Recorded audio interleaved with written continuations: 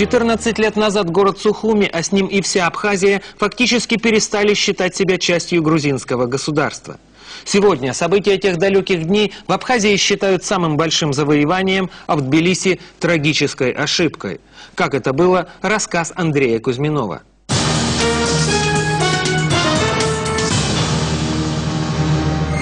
17 сентября 93 года. Сухуми. Вы видите уникальные кадры, снятые любительским видео. Бои в столице непризнанной республики. Абхазские отряды начали наступление на войска Госсовета Грузии, которые почти год удерживали Сухуми. Среди наступающих были не только абхазы. На их стороне воевали чеченцы и кабардинцы, проживавшие здесь греки и армяне. Галус Трапезанян – один из командиров армянского формирования, более известного как армянский батальон имени Баграмяна. Вроде было все подготовлено, командование вроде все просчитало. Мы должны были идти с 14 на 15, но по каким-то причинам отложили на сутки, и мы пошли 15. Вот. И очень много ребят погибло именно с нашей ротой. Под утро, это было 4 часа утра, дали команду наступления. И мы в это время проходили речку, реку Гумиста. У каждого была задача своя. Согласно замыслу операции, первая рота батальона должна была зайти в тыл противника и захватить все подступы вот к этому мосту через реку Гумиста. Мост – ключ к воротам Сухуми. Из-за его обладания развернулось настоящее сражение. Потеряв 16 человек убитыми и 7 ранеными, рота все же выполнила свою задачу. Однако едва основные силы наступающих переправились на тот берег, как столкнулись с глубоко эшелонированной обороной грузинских войск. Это была первая и неудачная попытка абхазов освободить свою столицу. Ситуация была критической. Грузинские войска могли в любой момент перейти в контрнаступление и опрокинуть абхазов в море. А вместе с ними и тех, кто воевал на их стороне. Как это можно вот уйти в сторону, если мы родились здесь? Потому что мы с первых дней находимся в ряду Абхазской гвардии. И будем вот стоять до смерти, ну, до конца. Пытаясь предупредить действия противника, абхазское командование начало подготовку к повторному наступлению.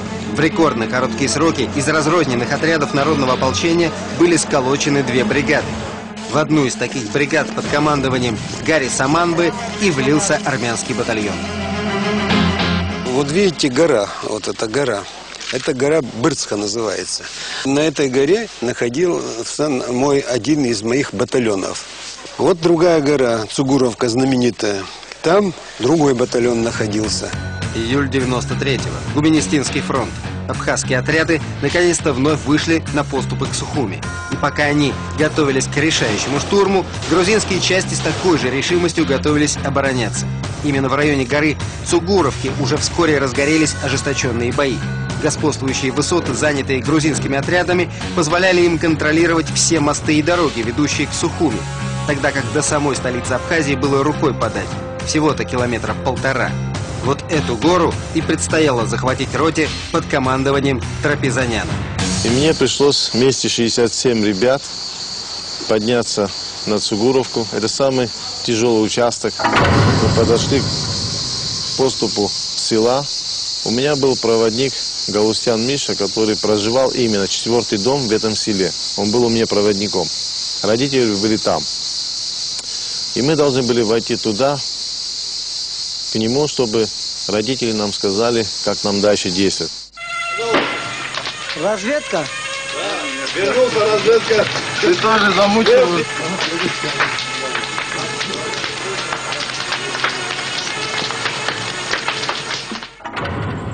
338 день войны. Уже утром выяснилось, что все подступы и тропы к вершине Цугуровки заминированы. Но штурм начался. Одним из первых получил тяжелое ранение трапезанян. Он подорвался на мине. Вот так, на носилках, в гору, вытаскивали бойцы своего раненого командира. Уже к вечеру абхазским отрядам удалось захватить все высоты. Дорога на Сухуми была открыта. Ну, мы их обошли, мы через горы спустились, через эту Берцхо, и в тыл зашли и, и пошли дальше. Мы их оставили, мы их оставили глубоко в тылу, как, на удивление. И затем мы пошли дальше, продолжили наступательную операцию.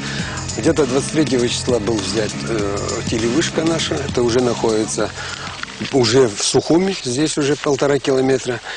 А потом через 4 дня, через 4 дня, да, мы вошли уже в Сухум. Штурм 16 сентября стал неожиданностью не только для грузин, но и для России, проводившей в эти дни мирные переговоры. Ардзенбо пошел в Вабан. Без согласия Москвы отдал приказ о наступлении. Устремившиеся к центру города абхазские роты и батальоны численностью около полутора тысяч человек столкнулись с ожесточенным сопротивлением. По улице Орджоникидзе двигался батальон имени Баграмяна. Их цель – здание Совмина, символ власти Госсовета Грузии. Славился! Слушай, тихо. 140 слушай, 41 на подступах к этому Белому дому, да? 11 дней длился штурм.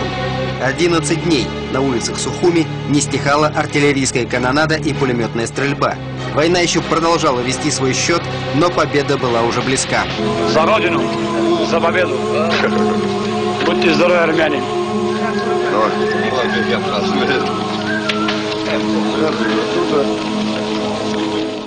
Через четыре дня абхазские отряды выдавят грузинские войска за реку Ингури, условной границы между Абхазией и Грузией. Будет определен статус-кво. Швартнадзе будет вынужден подписать договор с Сухуми о прекращении огня, отчего его власть сильно пошатнется. Власть Владислава Ардзенба, напротив, как никогда станет сильной.